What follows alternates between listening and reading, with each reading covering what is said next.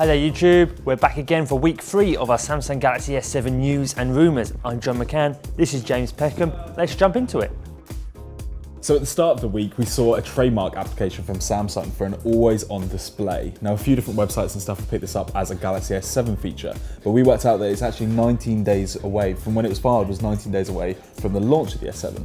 Doesn't that sound a little bit too near to the actual phone launch? Yeah, the timings don't quite add up mm. here. It does, it does seem too close to the bone. Maybe Samsung is making a last-ditch play, but it feels like it, it would be something more for maybe the, the S8 next mm. year or even maybe even a, further, yeah. a Note 6 towards the end of this year. Um, of course, LG has been quite public on Twitter mm. by saying that the LG G5, which it will be launching on February 21st, same day as Samsung, uh, will have an always-on display. Mm. So maybe Samsung's trying to get one over on its South Korean rivals and actually have the always-on display in its marketing to try, or maybe it's just trying to block LG yeah. from using it in its it marketing. Could it could be a, a, a counterplay from Samsung. Mm. Yes, we reckon it's less likely to be in the S7, um, but maybe something for the future. Hmm.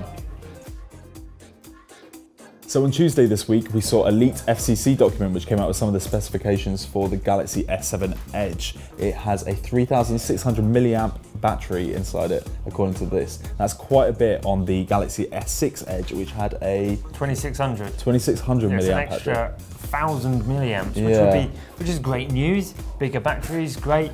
It's huge though. It's Every, a really big increase. That's really good. That's what we want. That's what we've yeah, been yeah. asking for for the last couple of years. Everyone's making their phones thinner, and mm. that's compromising on battery because it's getting thinner, and there's less space for the battery to be in there. Mm. So a bigger battery, great news. Um, which leads us nicely onto Wednesday. Mm.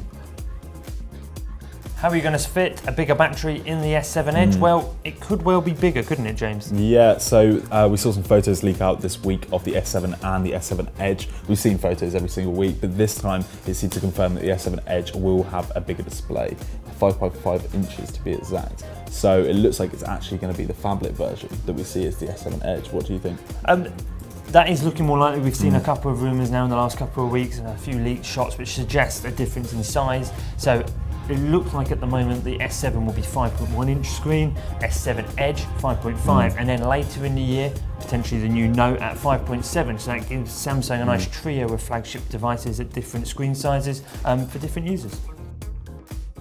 So at the end of the week, TechRadar was actually at the Samsung European Forum where the VP of marketing for the company said that the next Galaxy will be the best Galaxy ever. Well, shocker. Yeah. Like, he's not going to say the next Galaxy is going to be all right, but it's not nowhere near as good as the S6. So but, it's no big surprise, is it really? But he did say some quite interesting stuff where he said at, at MWC we will see the next iteration of Gear VR, or he said there will be at least some more Gear VR news. So that's quite interesting. Well, that is that. because when they launched the S6 last year at MWC, mm. they launched a new iteration of Gear VR to go with the S6 yeah, on top of the previous one. So they're just building mm. on that, and we have heard Gear 360 also rumoured, so maybe that's going to link in with that. And he also did confirm that the Samsung Galaxy S7 launch will bring Samsung Pay to Europe. Finally. Finally, it's been a long time now. So we don't know if that means it'll come with an actual phone on the launch date of the phone. We can hope that's what actually happens. And it's about time that we actually had Android Pay or that kind of thing around in Europe. Thank you for tuning in to what is our penultimate Galaxy mm. S7 news and rumours video because we are only now a week away One from the week. big day itself. Yeah. We're going to be there live. We're going to be bringing you all the latest. So tune in next week for the latest rumours and then tune in again for our hands-on and our impressions. Don't forget to like and subscribe. Thank you for watching and we'll see you next week.